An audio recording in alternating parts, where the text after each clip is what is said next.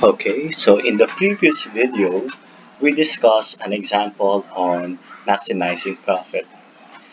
Okay, this time, we will discuss an, an example on minimizing cost.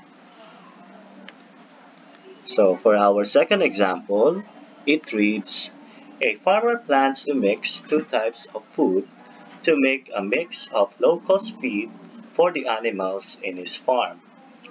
A bag of food A costs $10, contains 40 units of protein, 20 units of minerals, and 10 units of vitamins.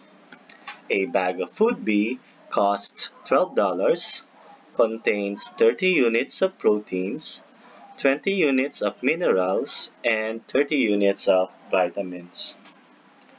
How many bags of food A and food B should be consumed by the animals each day in order to meet the, the daily minimum daily requirements of 150 units of protein, 90 units of minerals, and 60 units of vitamins at a minimum cost. So in order to solve this linear programming problem, we will convert this first to an LP model. So first we decide on our decision variables. So notice that for this statement, there are two types of food to be mixed for the low-cost feed. And those two types of food are food A and food B. So for our decision variables, we will let x be the number of bags of food A and y be the number of bags of food B. Now, let's have our objective function. So for our objective function, we want to minimize cost. Okay, notice that a bag of food A costs $10 and a bag of food B costs $12.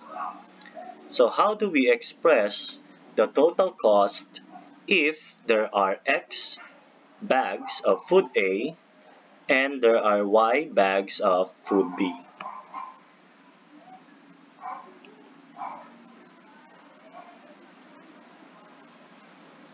So in this case, our objective function is minimize cost. And the cost is 10x plus 12y. So our objective function is minimize 10x plus 12y. Okay, then we go to our constraints.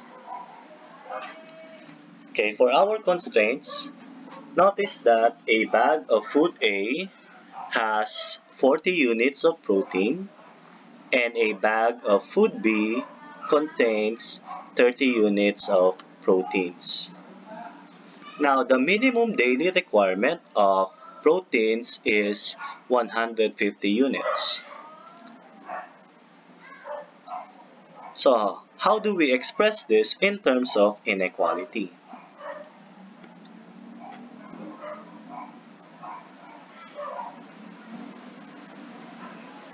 So if there is X bags of food A and food A has 40 units of protein and there are Y bags of food B and food B contains 30 units of protein.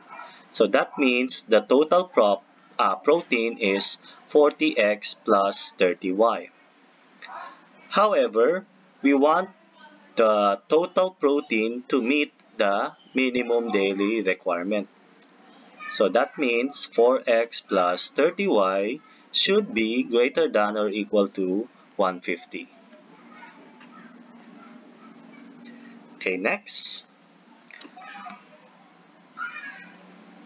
Now, a bag of food A contains 20 units of minerals and a bag of food B contains 20 units of minerals. Now, we want to have a mix of food A and food B so that it meets the minimum daily requirement of 90 units of minerals. If there are X bags of food A and Y bags of food B, how much is the total minerals?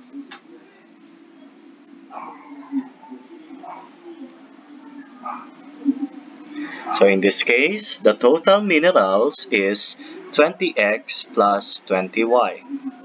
Now this total minerals should meet the minimum daily requirement. So 20x plus 20y should be greater than or equal to 90. Okay, next. A bag of food A contains 10 units of vitamins, while a bag of food B contains 30 units of vitamins. Now, the minimum daily requirement for vitamins is 60 units. Now, if there are X bags of food A and Y bags of food B, how much is the total number of vitamins?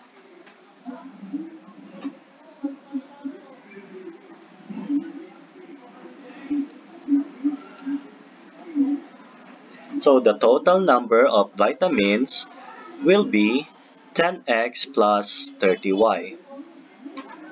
However, the total amount of vitamins should meet the minimum daily requirement. So, we have 10x plus 30y is greater than or equal to 60. So this completes the resource constraints. And again, there, there are constraints that are not mentioned in the problem. In this case, X represents the number of bags of food A, while Y represents the number of bags of food B, so X and Y cannot be negative. So we have to include the non-negativity constraints. So now this completes the linear programming model for this linear programming problem. So we are done with step one. We have set the decision variables, identified the objective function, and enumerated the constraints. Now moving on to step two, we will graph using Desmos and determine the feasible region. So we will consider the constraints and we will treat this as a system of linear inequalities. Again, we recall that a system of linear inequalities can be graphed using Desmos. So if you do that, the finished product will be this. So using Desmos, our feasible region will look like this. Again, the feasible region represent the set of all points that satisfy all the constraints. Okay, next we enumerate the corner points. So we have 0, 5, 1.5, comma 3, 3.75 comma 0.75 and 60 okay. After enumerating the corner points we will use the corner point principle. Again the corner point principle states that the objective function is optimized at one of the corner points so in our linear programming model, we want to minimize the cost. The cost is 10x plus 12y. Now substituting the corners, okay, we see that among the corner points, the third one minimizes the total cost.